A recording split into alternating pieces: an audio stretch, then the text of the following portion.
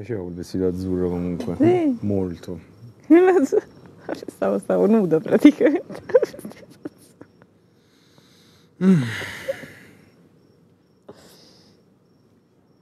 Tu prometti bene. prometti molto bene, Gwenda.